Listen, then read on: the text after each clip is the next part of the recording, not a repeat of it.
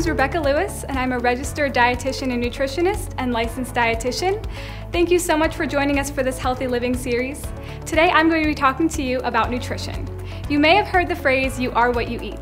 And this really is true, because the types of food we eat have a huge impact on nu nutrient levels in our body, as well as our overall health. So nutrition can be confusing. There's a bunch of mixed messages in the media, fad diets that are being thrown at us, and they're all so different, so we're not really sure which one is best for us, confusing food labels and marketing. So what I wanna do for you today is just keep it simple.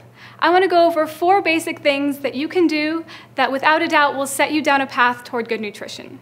So the first is to eat whole foods. The second is know where to look on food labels. The third is to avoid foods that don't spoil.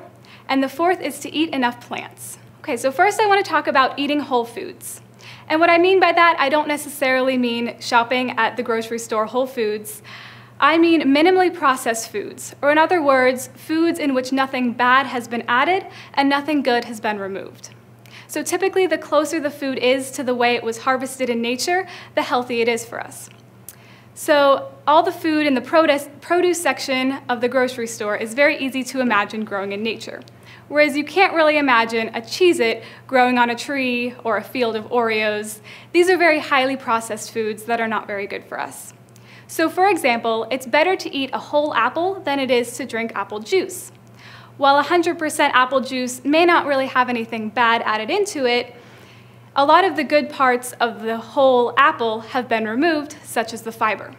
So anytime something is added or removed through processing, it alters the nutritional composition of that food, and it also changes the way that food is digested and absorbed in our bodies.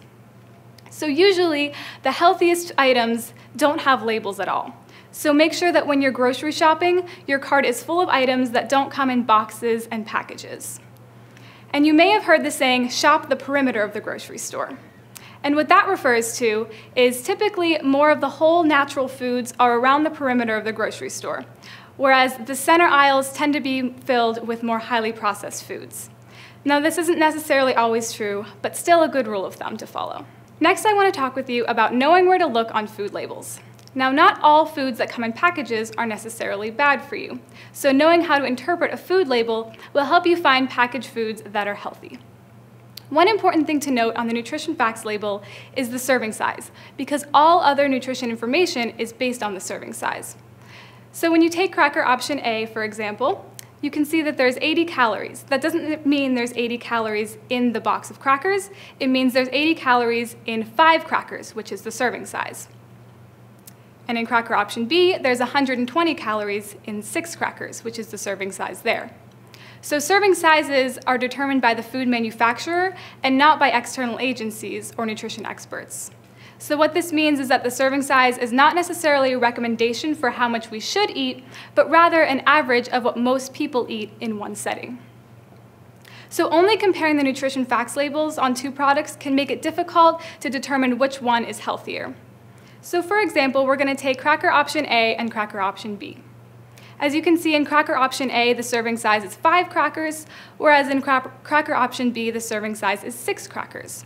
So doing the math and making it a little bit easier to compare, we broke it down to where in cracker option B, the serving size is five crackers. So there's 100 calories in those five crackers. And when we compare these two crackers, we see that cracker option A may have a little bit less calories. So if you're watching your calories, you may go for that one. Um, but it also has a little bit more fat. The sodium on both of them are pretty much the same. Um, cracker option B has a little bit more carbohydrates, so maybe you were told to watch your carbohydrates, um, so you may go for cracker A in that case. So really, as you can see, it's kind of hard to determine which is the better choice here. So the golden rule is to read the fine print or the list of ingredients. So when in doubt, skip to the fine print. And a good rule of thumb to follow is if you can't read it, don't eat it. So as you can see here, it's much easier to tell which option is better for us here. So cracker option A, which was the Ritz crackers, has a long list of ingredients that are difficult to understand and pronounce. Whereas cracker B, which is the Triscuits, has only three ingredients. We can understand them and we know what they are. Just whole grain wheat, canola oil, and sea salt. All right, the third concept I want to talk with you about is avoiding foods that don't spoil in their ready to eat state. So, items that don't decompose over time are usually very highly processed, while whole and healthful foods will spoil over time. And in other words, they'll undergo chemical changes. Now, some of these signs of chemical change are a change in color, a change in texture, development of mold, or the development of an odor. Now, what I mean by ready to eat state I'm referring to the food just before it is eaten. So, for example, a can of beans can sit on a shelf for months or even years without going bad.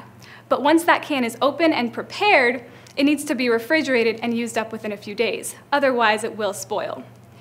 So, therefore, the beans are still considered a minimally processed food and a healthy option.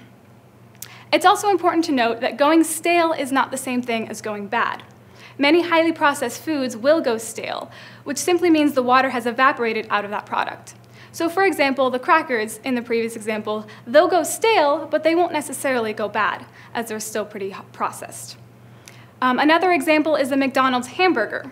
You may have seen some videos of people doing an experiment, leaving a McDonald's hamburger in their car for months, and it still looks pretty much the same after those few months as it did when it was ordered.